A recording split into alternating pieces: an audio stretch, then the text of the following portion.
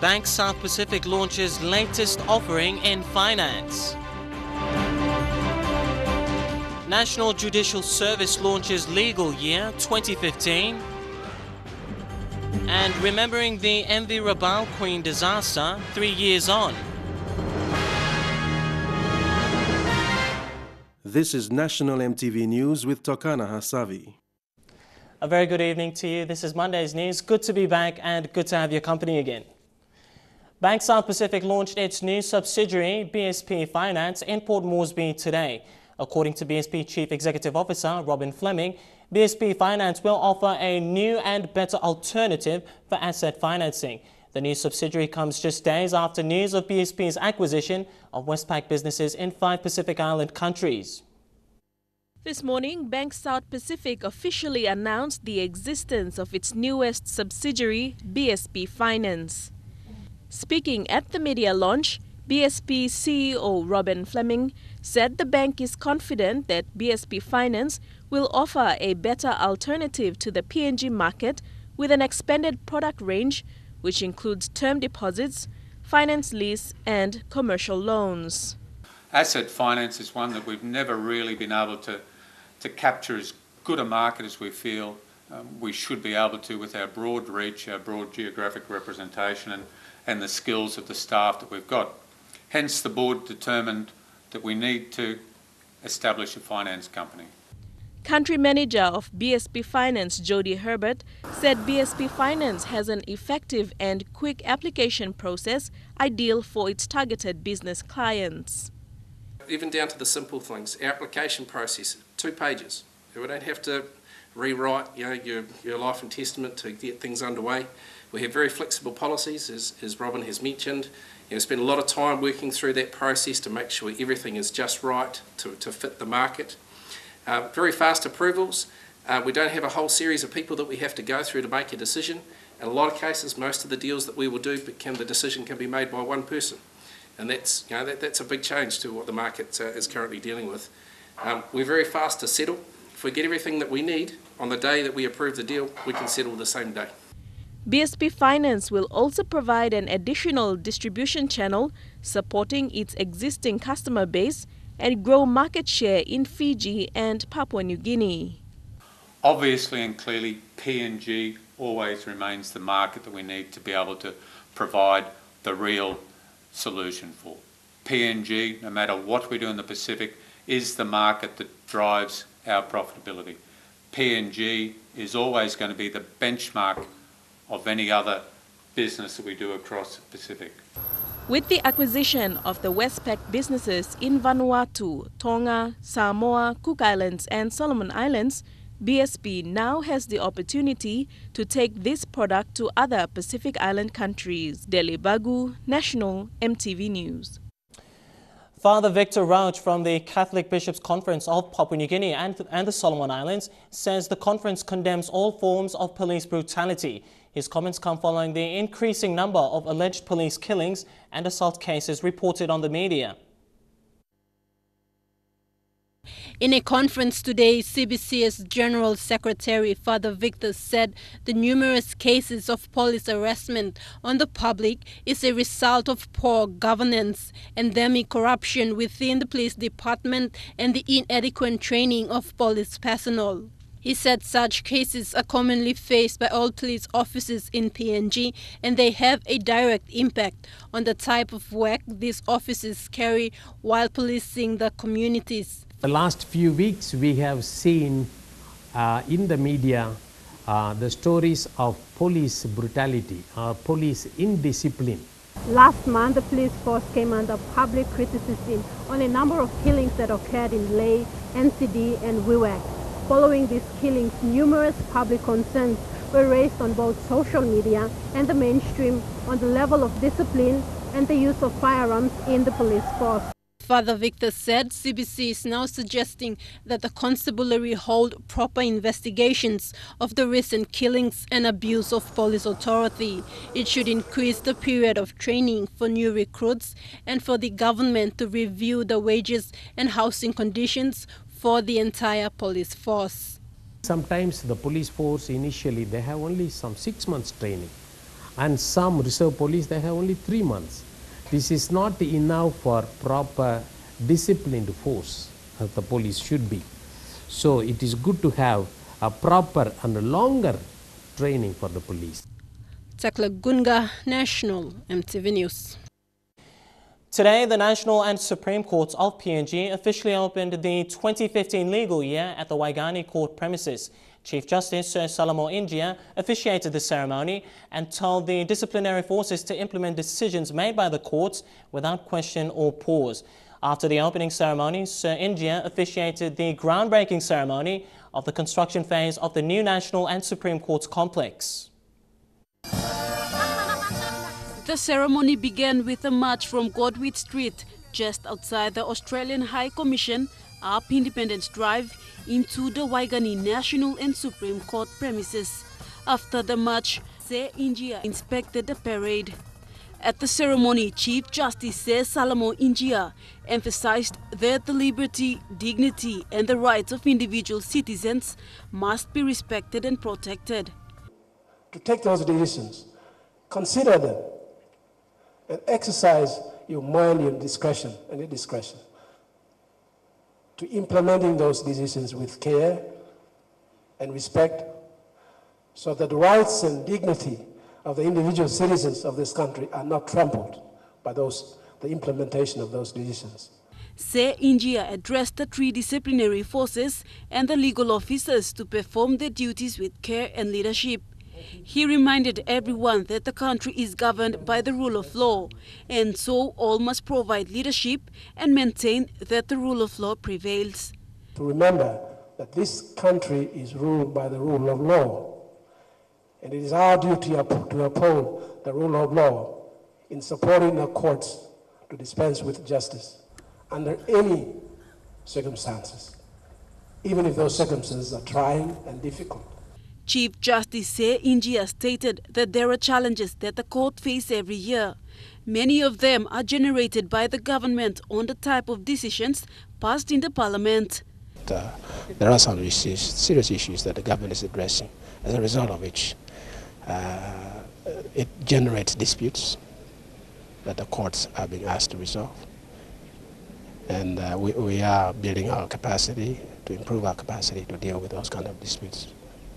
Meanwhile, the event ended with the groundbreaking ceremony of a construction phase of the 600 million kina project that will house the National and Supreme Courts. It is hopeful to be completed by 2017, just in time for the 2018 APEC meeting. Vasinata Yama, National MTV News. The PNG Judiciary Branch has identified a former judge from Australia to take up a role as a judge in PNG. His appointment and identity will be announced shortly. Chief Justice Sir Salamo Injia says the appointment of this new judge is crucial and will limit the current vacancies to only three. The Chief Justice says the judiciary has vacancies for four more appointments to be made this year. However, he says a retired senior judge from Australia is being selected to take up role as a judge in PNG and his appointment will be announced soon. We have vacancy for four new judicial appointments to be made this year. One has already been made. I will make an announcement of that shortly. He's a very senior judge a former retired judge from Australia that has been appointed. He's a former Chief Justice of one of the Australian states, has been recently appointed. This appointment will limit the number of vacancies to only three Sir Salamo says the new judge will be posted to Kokopo in East New Britain province. The Chief Justice made this announcement in an interview with MTV today at the opening of the 2015 legal year in Port Moresby. He says the judiciary expansion program since 2008 has opened new branches for both higher and lower courts in provinces.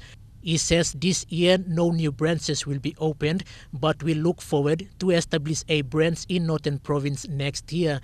This year there will not be any new uh, pro provincial location opened up, but uh, next year we are opening one in uh, in Oro and possibly in Vanimo in Western Province.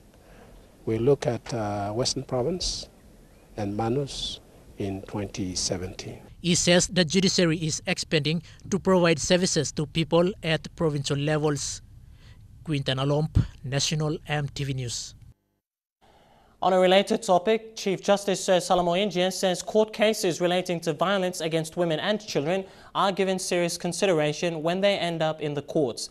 In light of the recent human rights report indicating that PNG is not a safe country for women, Sir Salamo says the courts treat family violence cases seriously but fairly according to legislation.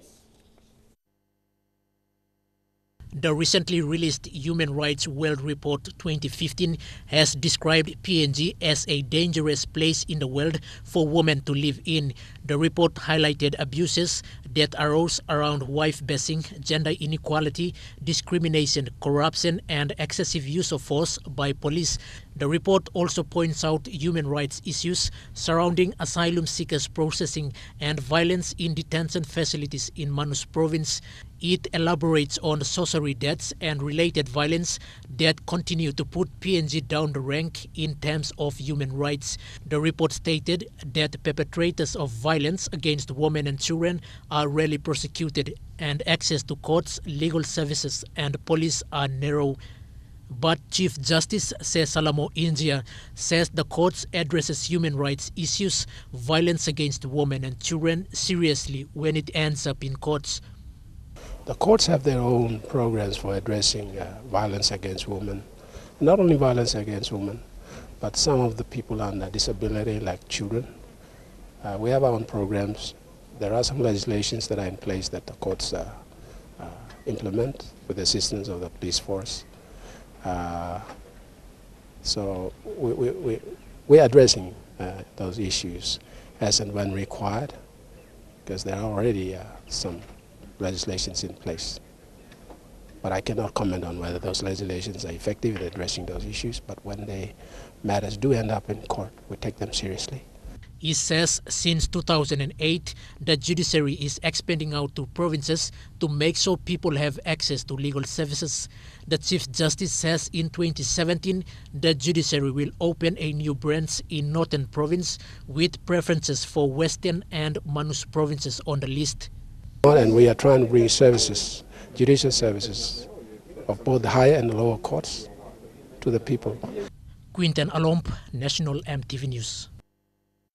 And ahead in the news, Komo Airfield commercialized Porgera liquor ban developments and the process of coffee production from tree to, to store shelves. All of that coming after the break. Stay with us. Good to have you back with the news. Minister for Civil Aviation Davis Steven and new ExxonMobil Managing Director Andrew Barry today signed an agreement for commercial operations out of the Komo Airfield. The agreement will see the opening of the Komo Airfield for airline operators and disaster relief operations in Hela Province. The signing was witnessed by Prime Minister Peter O'Neill and other stakeholders.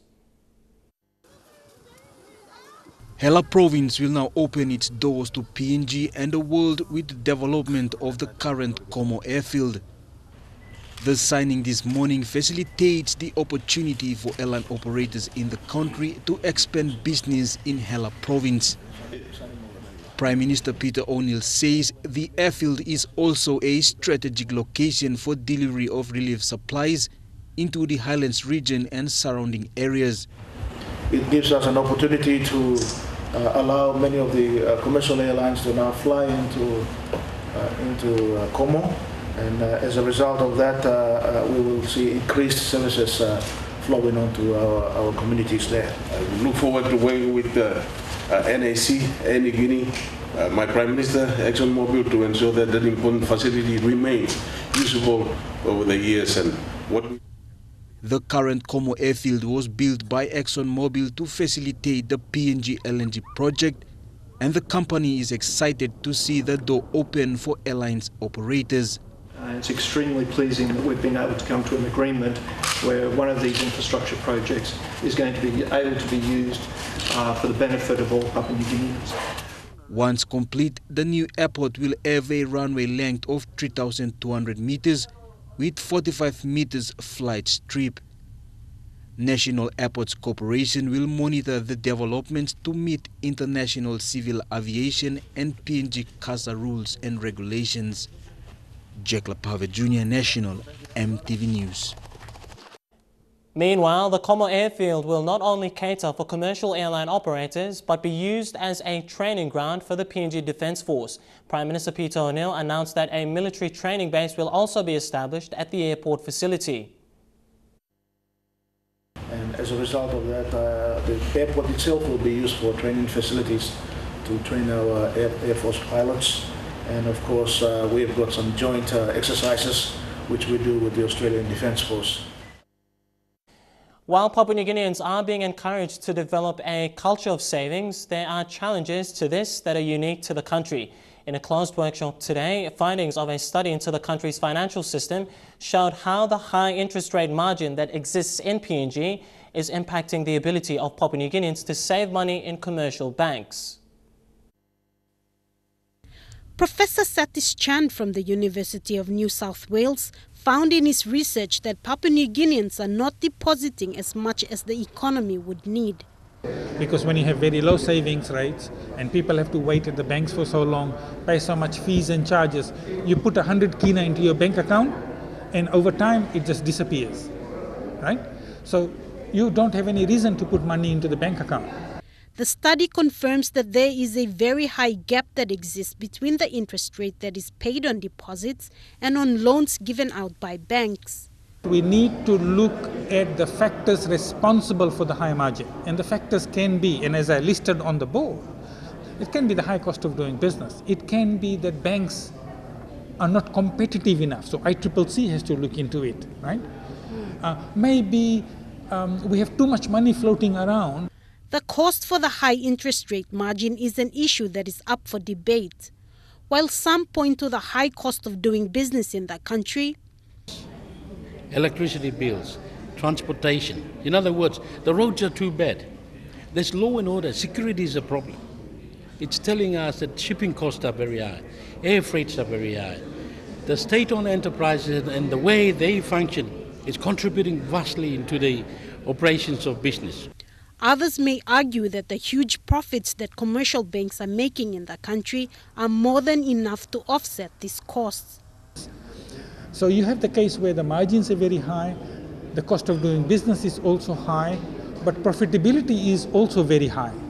So that means that there must be room to reduce the margin between the interest offered on your deposits versus what is charged on your loan. Sarah Aupong, National MTV News. Coffee remains one of the most popular beverages in the world. About 1% of that coffee comes from Papua New Guinea. But not many Papua New Guineans know how PNG's organically grown coffee is processed. MTV's Edwin Fidelis gives a tiny snapshot into how coffee beans are harvested to the moment it ends up in a supermarket. This is what happens behind large corrugated doors of a coffee factory. Coffee beans goes through numerous processes before it ends up in a store.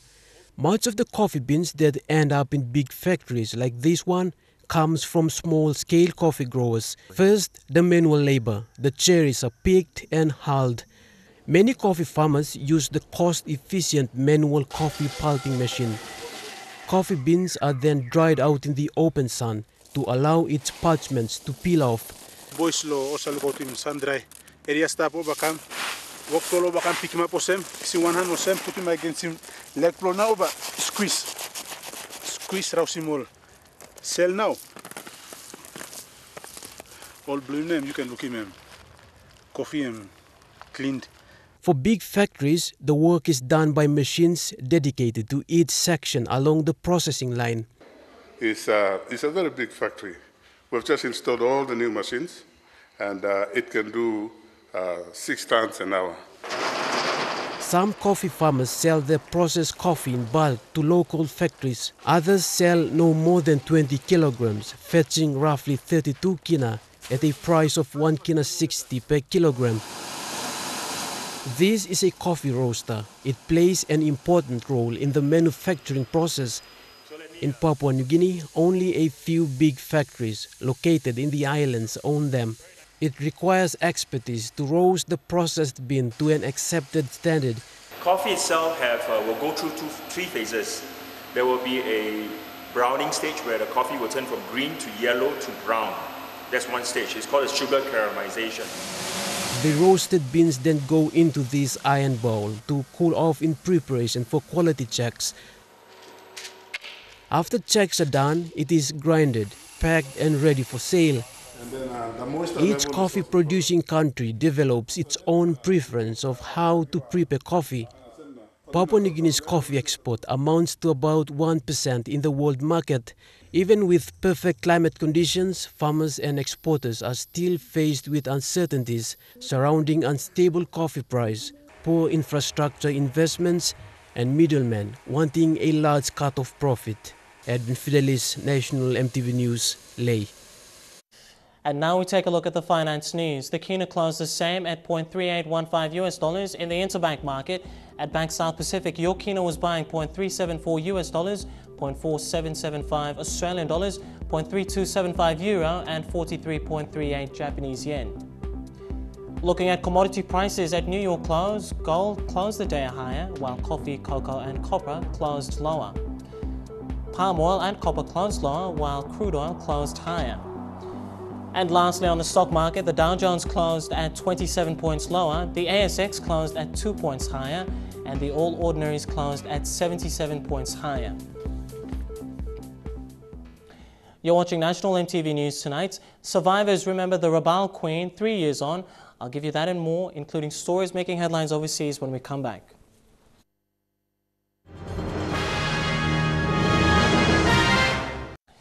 Thanks for your company and welcome back to the news. Today marks the third anniversary of the capsizing and sinking of MV Rabaul Queen in rough seas off the coast of Finschhafen. The ferry was on its way from Kimbe to Lae with over 500 passengers on board. In Lae, a section of the Old Town Cemetery was filled with wreaths and flowers laid by friends and family members in memory of the victims. MTV's Bethany Harriman reports from Lae. Wreaths and flowers were laid at Lae's old cemetery, remembering over 300 men, women, and children who lost their lives on board MV Rabaul Queen three years ago. On this monument are the names of the souls on the ship from Bougainville, East New Britain, and Kimbe on the way to Lae. It's understood that over 500 passengers were on that vessel, way over the ferry's capacity of 310 passengers. Today marks the third anniversary of one of Papua New Guinea's worst maritime disasters. For some who survived that tragic voyage, life isn't the same. Because lo, mi plapi misi me ah, mia, asa na misa tingin bed. That time mi plapi me mia sa misa tingin na misa Grace Konokong and her family were on MV Rabaul Queen when it capsized and sunk 16 kilometers from Finschhafen. She lost her five-year-old daughter, Carol, who drowned while her mother tried to swim out from the sinking ship.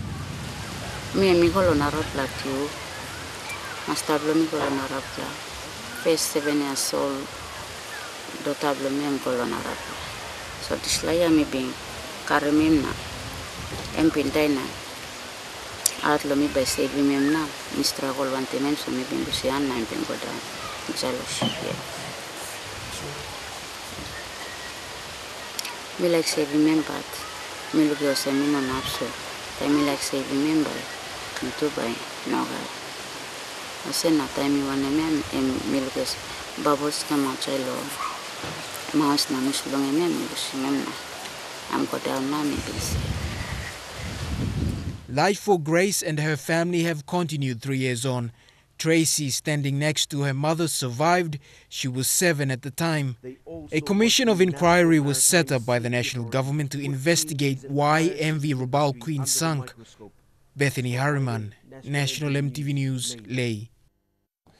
Though the liquor ban in Porgera has been uplifted, police warn they will not tolerate people being drunk and disorderly. The ban was imposed last year during the state of emergency call-out by the Enga provincial government.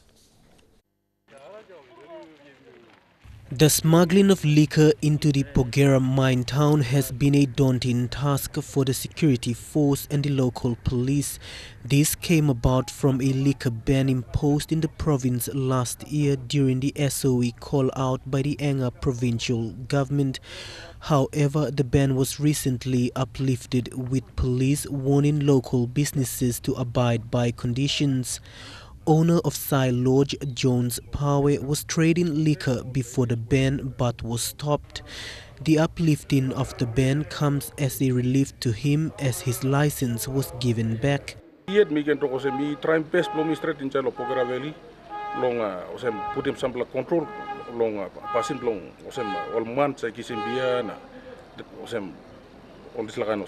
His license will be closely monitored to ensure conditions of entry into his licensed premises are not breached.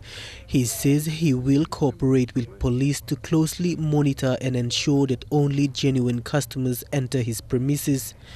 Police have warned that anyone found to cause trouble in public will be arrested and charged for drunken disorderly. Mickey Cavera, National, MTV News. Western Governor Ati Wobiro was arrested today by the police for allegedly misappropriating 7 million kina.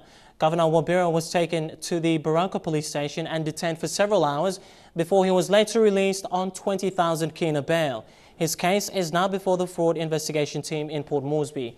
Meanwhile, jailed Komo Magarima MP Francis Potape's bail application case today was adjourned to tomorrow. Potape was found guilty on one count of conspiracy to defraud the state and two counts of misappropriation and was sentenced to serve two and a half years in prison. On a brighter note, five ambitious students from a Port Moresby-based orphanage had the perfect start to their academic year after receiving sets of uniforms and stationery. Despite experiencing the harsh realities of being homeless and penniless, they all have one goal in common, the desire to work towards a better life. This is the smile of a Papua New Guinean that aspires to be a doctor one day, while her counterpart with an ardent look of determination aims to be a scientist. Meet Eva Quincy and Anderson Ken, two of five students at Life PNG Care who received school equipment and uniforms to start their academic year. Lo, Garriet, lo stage one, mililikat na misastante. Sa kama bikla na. Me kalau school. Mina start there school good. Kama umbra good la maingi lo future time. The donor, also IPBC's managing director, Wasantha Kumarasiri, says as much as he wants to cater to all the children at the orphanage, he can only do so much. I think uh, my appeal to other similar colleagues is to look at uh, what's happening. This place has uh, around 40 children who need to go to school. Colin Pake is a name that all these children find synonymous with refuge.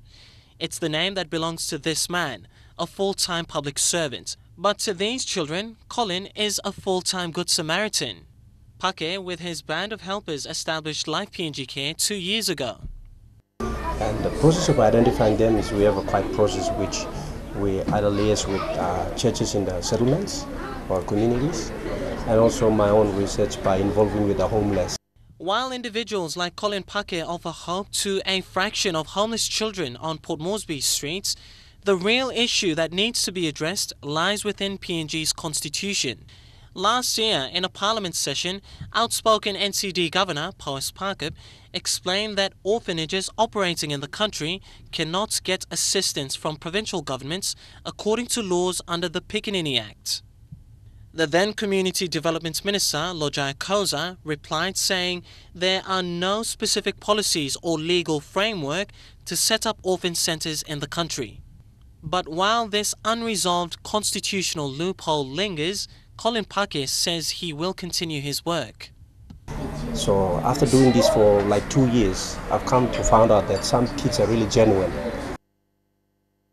And that's a take on our news stories tonight. Trukai Sports, that's coming up next. And we've got Va'a, Taekwondo, weightlifting, and I'll give you all the sporting updates. Stay tuned.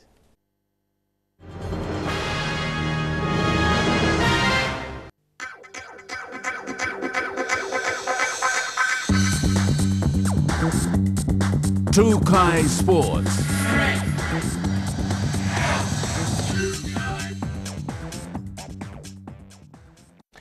Welcome to Trukai Sports. The national Va'a men's team have arrived in Port Moresby after competing in the Australian national titles as champions. The men did exceptionally well, securing a gold medal in the V12 event and bronze in the 500 sprints, while the women placed second in the 1,500 metre race and third in the V12 event. The team has built up their confidence and are prepared to take on the Pacific Games.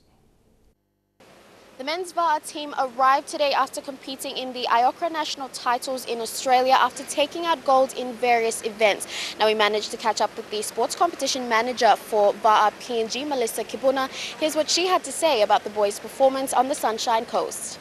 PNG men's team that um, was second um, up until the last five meters and even the race uh, uh, commentator um, he was uh, overwhelmed by the men's performance that they had lifted up the canoe in the last five meters and they finished uh, first in that race.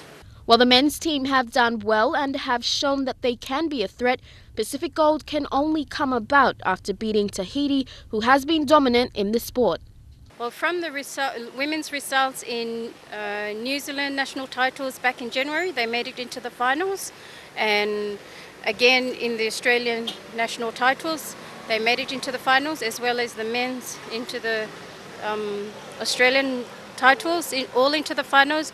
I'm very confident that they will, uh, uh, there's placing for them um, in in the medal tally, so we're looking forward to that. After their successful run at the Australian national titles, this comes as a timely boost in the lead up to the 2015 Pacific Games. Lorraine Genya, National EMTV Sports. Head coach of the Oceania Weightlifting Federation, Paul Coffa, is in Papua New Guinea to assist with the coaching and upskilling of technical officials for the weightlifters as they prepare for the 2015 Pacific Games. Coffer will be running technical seminars and athlete training sessions throughout the week in partnership with the High Performance Division and the PNG Olympic Committee. His visit to PNG is also a timely boost for the Commonwealth gold medalist duo, Steven Kari and Dika Toua, as they prepare for the July Games. PNG Taekwondo athletes are practicing special Taekwondo drills in preparation for the upcoming Pacific Games in July 2015. PNG national Taekwondo coach Edward Kasman is optimistic that this training will pave the way for local Taekwondo athletes to participate internationally. This training featured Master Eugene Lee from the Korean public tutoring Taekwondo players with various Taekwondo drills. Eric Harubma has this report. Master Eugene Lee, a world-class martial artist from the Korean Republic, is in the country training PNG Taekwondo athletes in preparation for the upcoming Pacific Games. Teach Taekwondo. So uh, another student and then uh, the general. Kasman to train PNG's Taekwondo fighters. These athletes have participated in a series of trials since December 2013 to trim down to a 22-man final squad for the upcoming Pacific Games. This is part of the ongoing training which is set for the athletes. Meanwhile, the athletes are using Caritas Taekwondo Hall. Master Lee's presence is a major boost for the Taekwondo code because athletes in the country will be able to acquire new Taekwondo drills.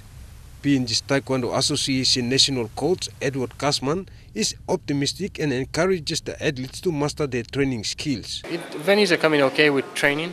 Um, we're not too bothered about where we fight, you know, whether it's under the coconut trees or wherever, but as long as we get to prepare well and fight and win the medal. PNG Games Junior Division gold medalist Rosa Tona is one of stars featured in the training. The Les said after undergoing successful training session, she is determined to raise the country's flag again in the Pacific Games. Prepare for myself for the Pacific Games. I'm ready.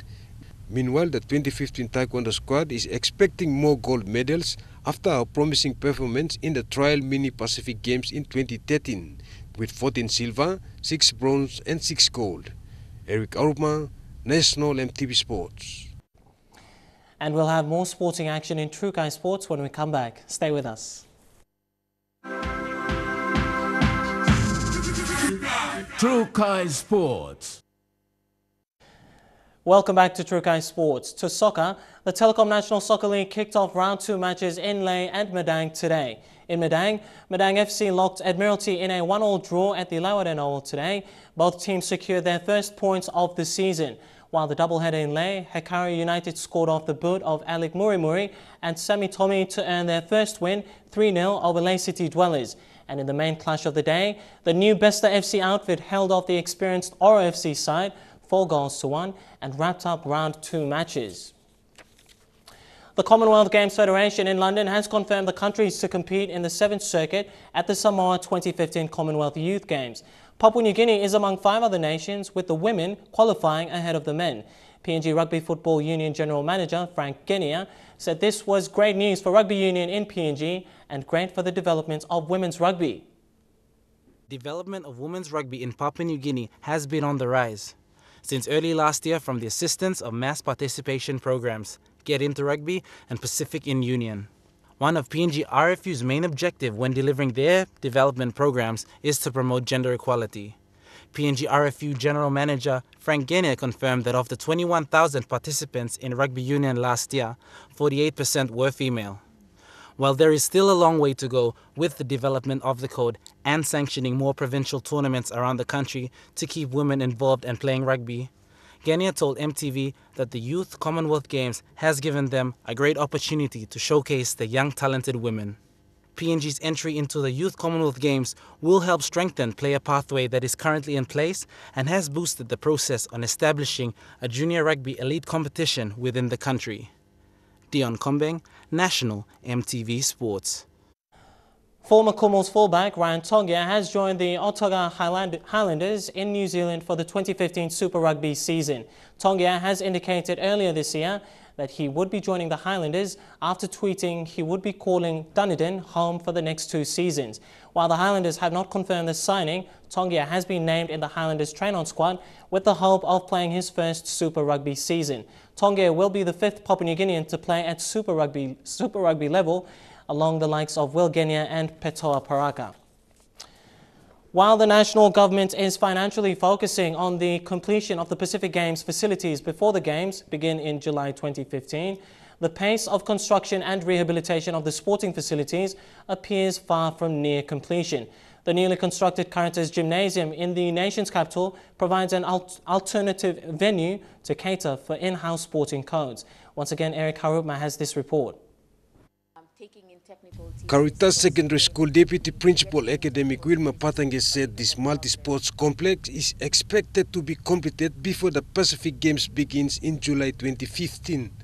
While sporting facilities in the country are undergoing an overhaul in its infrastructure development, the pace appears to be at a snail pace. This million kina facility can be the main venue for Aya if the government sporting facilities are not ready on time.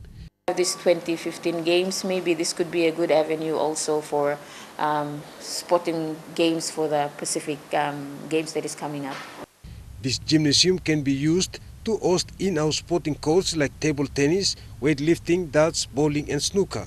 As this facility is near completion, the administration of Caritas Secondary School has more plans for other infrastructure development thanks to the Korean government for funding over 4 million kina which saw the construction of this sporting facility. That's where we get uh, most of our funds from, okay, the Korean government and our schools and benefactors. This gymnasium will cater for up to 1,000 athletes engaged in different sporting codes. Eric Arupma, National EMTV Sports. And that wraps up True Trukai Sports tonight. Coming up next, the weather details for the next 24 hours. Stay tuned. True Kai Sports.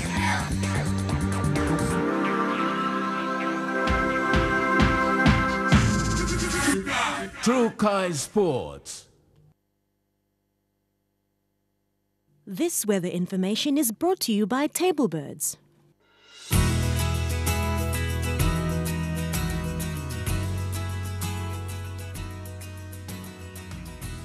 Looking at the weather forecast for tonight and tomorrow in southern region, Port Moresby and Kerema, cloudy weather with rain periods. Evening showers expected in Daru, rain periods in Alotau, showers and rain in Popondetta. In Momase, Lae City, cloudy periods, Wewak and Vanimo find then early morning showers expected and a shower or two in Madang. In the New Guinea Islands, all centres to expect rain. In the Highlands, all centres to expect brief evening showers, then morning fog. forecast for small ships, there is a warning, renewal of strong wind warning current for all coastal waters of Papua New Guinea.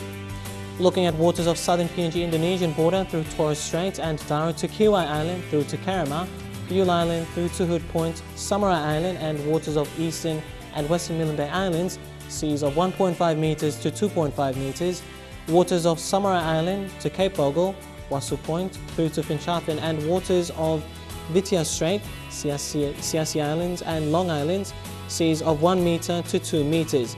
Waters of Long Island through to Madang, Bogia to Wewak, Vanimo and its northern PNG Indonesian border, and waters of Manus and its western group of islands, waters of New Ireland through to New Britain and Bougainville, seas of 2.5 to 3 meters.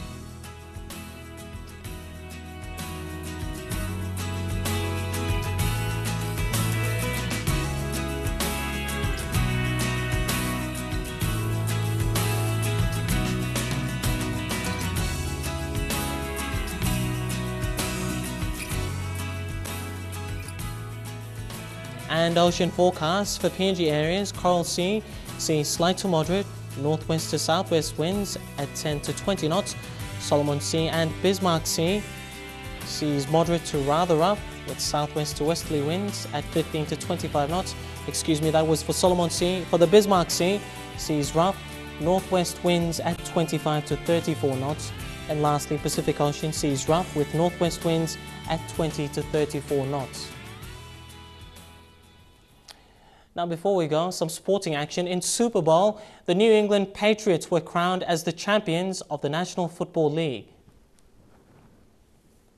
Giant party for New England Patriots fans after their team stormed home in an absolute thriller, overcoming a 10 point deficit to win in the dying stages, posting a four point win over the Seattle Seahawks. Of course, the Super Bowl is much more than just the football. Of course, there is a lot of entertainment. We had John Legend singing, Idina Menzel singing the national anthem. But really, uh, Katy Perry stole the show with her halftime performance. She was joined on stage by Lenny Kravitz and also Missy Elliott, but it was really her firework finale that brought down the house.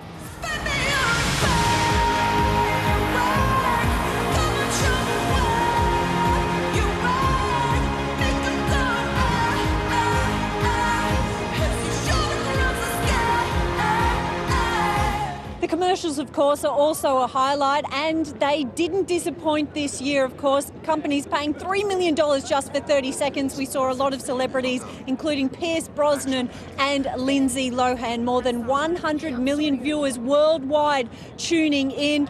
But tonight it is just one giant New England Patriot party as they manage to defeat the Seattle Seahawks. Well, before we go, a quick recap of our main news tonight. As always, Bank South Pacific launches newest subsidiary, also 2015 legal year launch, and remembering the MV Rabaul Queen disaster after three years. Well, that's been the news, sports and weather. From the National EMTV News team, I'm Tokana Asavi. Thanks for your company. You take care and stay safe. Good night.